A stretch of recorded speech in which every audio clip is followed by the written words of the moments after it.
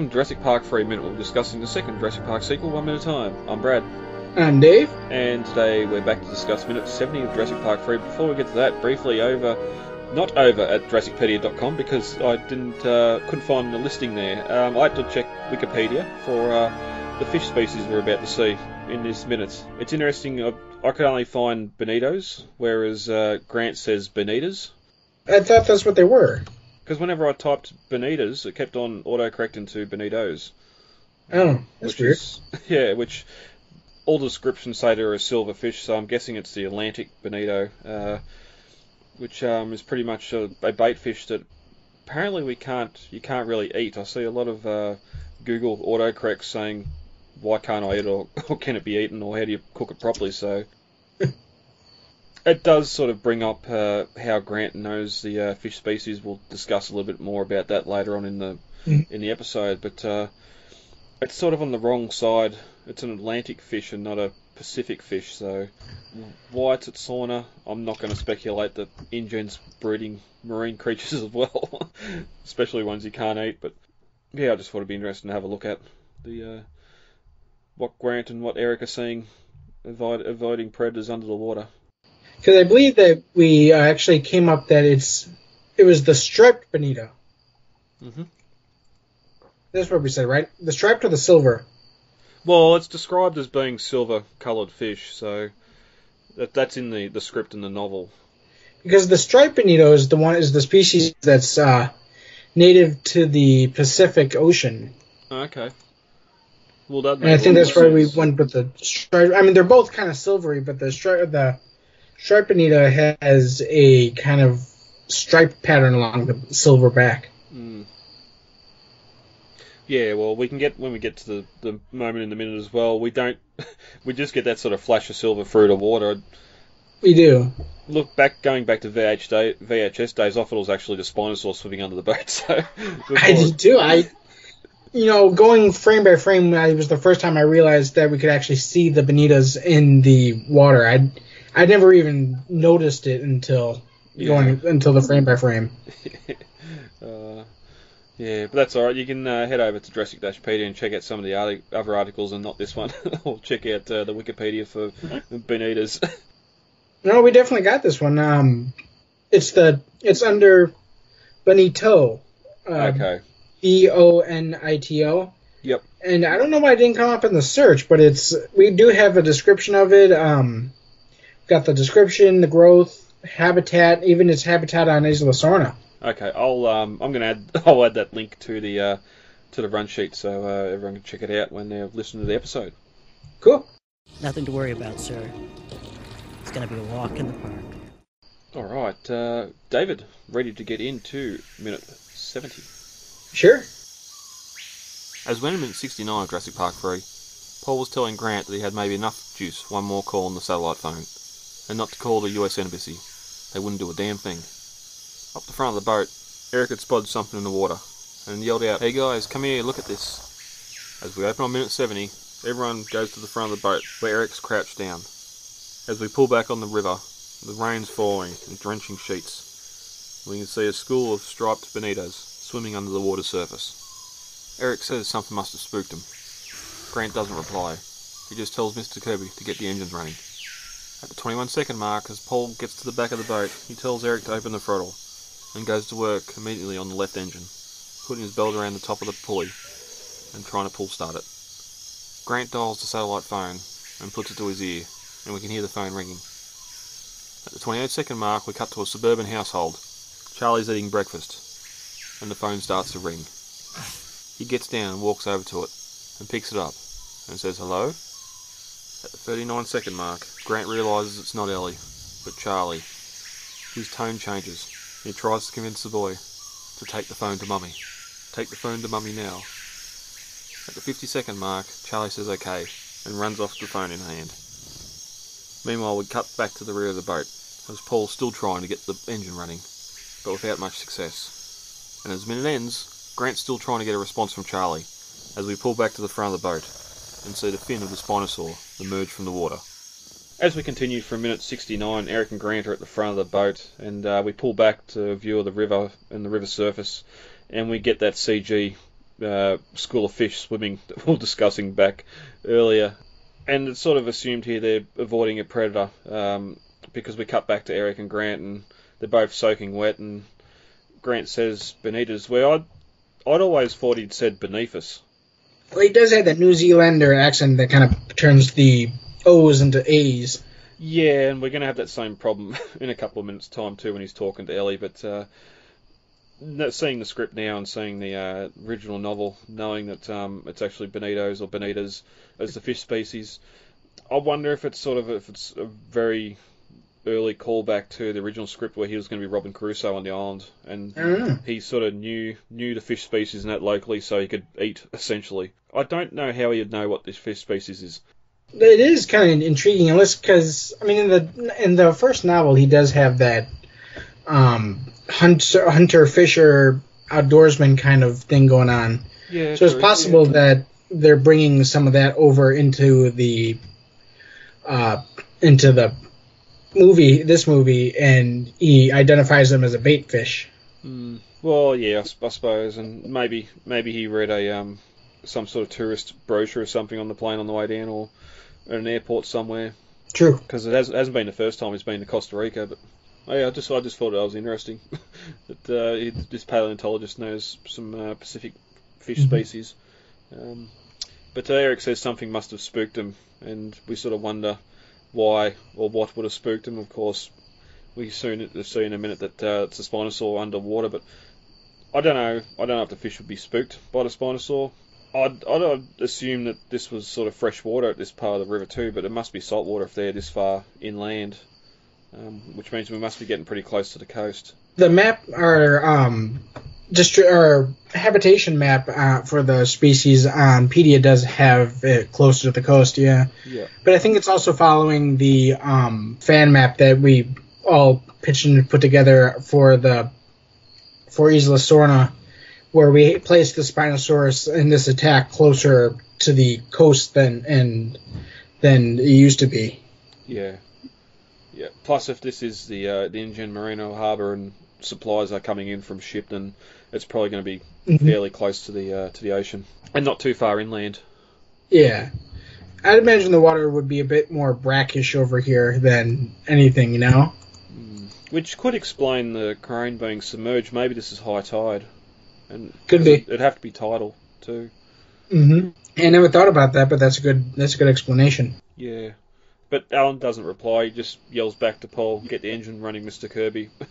and by this time, Paul's come over and stand, stood behind Eric. But uh, we will sort of pull back alongside the boat as uh, it continues to drift downstream, and uh, we get that small crane submerged in the river coming into view in front of him. It's sort of it's a shame here because the boat's obviously not moving. The way the camera is sort of coming back and swinging around the boat makes it look like the boat's moving forward because it looks like they're going to go straight into that crane and not avoid it at all.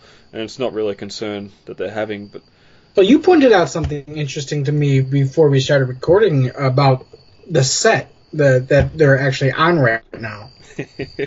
yeah, we'd, we'd speculated that this was the uh, the Aviary Canyon set.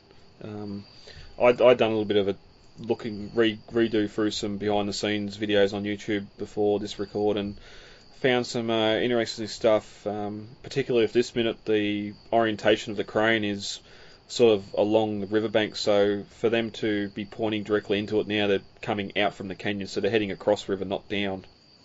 Which is one little interesting thing, but also uh, in one of those photos, and I'll, I'll or screen caps, and I'll post them up. You can clearly see the uh, the base of the aviary in the background, which looks like it may have been redressed. You can clearly see the big concrete uh, pylons or footings where the aviary was, and the uh, the gate they swam under um, has been repainted with the yellow and uh, the white and black construction sort of stripes on them, and there's clearly floodlights and hand railings on top. And if you look over in the far corner, you can see that, that gate that the uh, pteranodons would have escaped out of. But Mm-hmm. yeah, I was thinking possibly maybe they deconstructed it just in general because I mean they're gonna they're gonna take the set down anyway when they're done filming. So I was thinking maybe they just started kind of taking it apart and repurposed it in a way, you know? Yeah, but I think the um the the behind the scenes we've seen for that aviary gate and that there was nothing above that concrete those concrete pylons. Everything above that was CG. There was just Yeah. the beam the beam across, so there was nothing really there to deconstruct. Now, obviously, looking behind the scenes stuff, the uh, the scaffold, that monstrous scaffold cage, has been removed and half the cliff face with it. Um, Mhm. the cliffs here are only 10, 15 metres tall, if that, where before they were 50 feet tall. Yeah.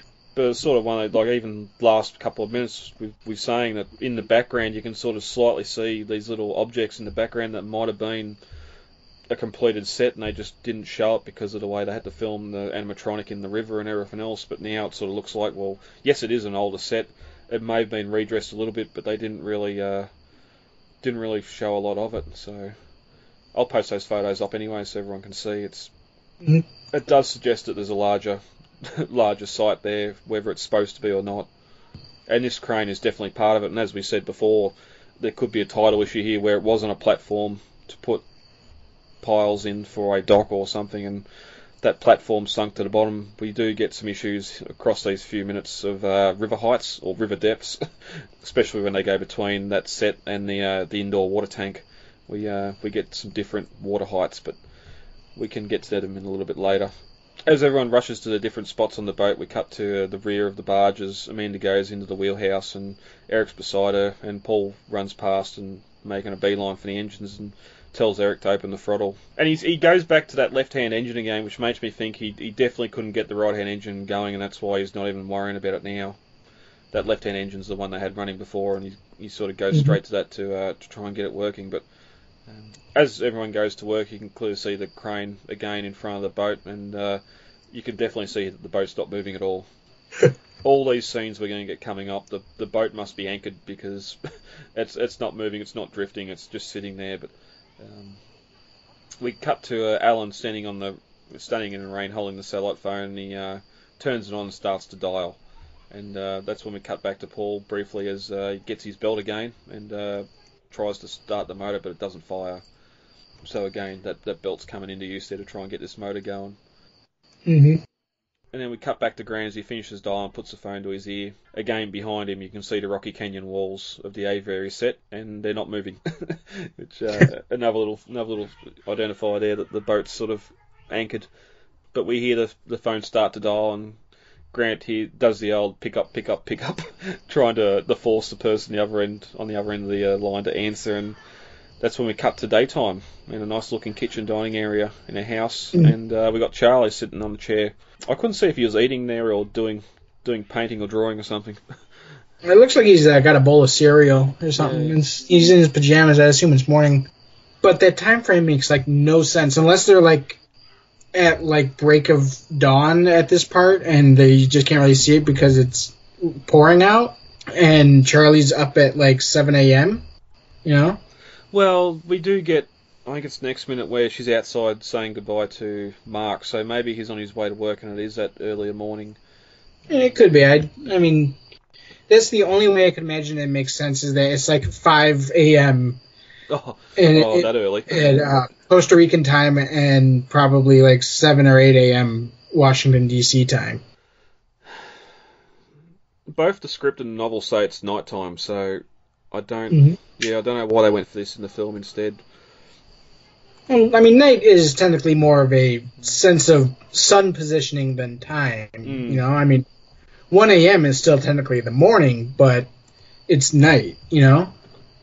Yeah, and it makes sense too if Barney playing on the TV, it'd be a morning morning cartoon for the kids because they're always Mhm. up early. But uh, Alan hears the, uh, the phone pick up and immediately yells Ellie, and we get Charlie say hello, and uh, Grant realizes who he's talking to, and you just see the sort of the smile and then the look of frustration on his face as he um, as he realizes he's going to have to try and convince or get Charlie to get Ellie for him, knowing how Mhm. flat that phone battery is and the, uh, the uphill battle he's about to have. But Mm-hmm. I do like here too, while he's on the phone talking, you can hear Paul in the background, and I'm sure it's just a audio effect that they've reused and they haven't actually got William H Macy sitting there trying to pull the engine over and over and over again while the uh, the camera's not on him. But you can hear him try and start the engines, and uh, clearly they're not wanting to go. Mm-hmm. But uh, Yeah, I just look, I just looked it up. And apparently, Costa Rica is two hours um, behind Washington D.C., which I believe is where Ellie is supposed to be living. mm, And so, if it's like say 7 a.m. or 7 even 7:30 in the uh, at night, and I mean in the morning at, at Ellie's place, it could very very easily be 5 a 5 a.m. and the sun hasn't is just about to rise at uh, on Isla Sorna. And the we do see after this Spinosaurus attack break of dawn for them, so it, it the time frame can make sense. yeah, it's got to be close to that because even even Costa Rica being closer to the equator than Washington, surely the morning would have to get sunlight earlier. I suppose depending on what time of year it was, but Mm-hmm. but yeah, that that sort of five-ish to seven-ish gap seems to like make the most sense. Mm-hmm. Which sort of makes you wonder. Them, them poor people have been drifting in that boat all night, only early morning to uh, go for a dive in Spinosaur poop, and now and now be in the river the coldest part of night, and they're going to be swimming in the river. Mm-hmm. But Alan pleads with Charlie, take the phone to Mummy, take the phone to Mummy now. It's the dinosaur man, and um, You can like really, really hear the New Zealander accent breaking Yeah. through here, especially when he's saying the word "mom," "mom" instead of "mom." You know, with yeah, the U. yeah, that that's it. Like you're American saying "mom" and it sounds so much more natural than me trying to say it. Where I, I can say "mum" and it sounds more natural for me. But yeah, you can definitely definitely hear it coming out there. But Mm-hmm. Charlie says okay and starts to walk down the hallway, and uh, we can hear the tiny voice of Grant through the speaker asking Charlie to listen to him, and um, that's when we cut back to Paul again having a hard time with the engines. We get to see him try and pull start one more time, and as the uh, minute ends, we get a shot from downstream as uh, the fin of the Spinosaur emerges from the water and it's heading directly towards the boat, and yeah, yeah, exactly, definitely in Jaws. And I do love here too how you can see the sort of fin contortion and move backwards and forwards to to show that Mm. it's, it looks like it's on the back of the animal as the animal's swimming, much like a Mhm. crocodile would. Which we can we can ask now. Do you reckon it's swimming here or is it walking on the riverbed? Depends on how deep the river is. I think it's probably swimming more crocodile-like. Um, imagine, say, the T-Rex in the novel, where even if she could theoretically touch the bottom, she's more likely to just kick her legs back and start swimming. Yeah, yeah. Like the the classic example of that on screen would be the '97 Godzilla, where it sort of same thing, just lets its arm and legs trail behind as it uses its tail to swing back and forth and Mm-hmm. propel itself forward. Um, again, much like a crocodile. hmm And even that concept art for what was it? I think was it um, the PS1 game where we got the concept Oh, art yeah. of the T-Rex Yep. attacking the raft. I love that early stuff. I know that is so great. Because it's sort of interesting too. As as we see the fin approach the boat, you can clearly see the crane now behind the boat. So they've got past it somehow, stopped on the other side of it. So it makes sense later on when Paul sort of jumps off and swims swims to the crane, and everyone else is downstream of it. But and maybe if that crane is on something at the edge of the riverbank when the uh, water's down, then it's a lot deeper here. But yeah, we have the same issue next minute. So we can discuss it more then. Also, uh, in the background, uh, as the fin's approaching, you can hear Alan calling to Charlie again and asking if he's taken the phone to mom. Um,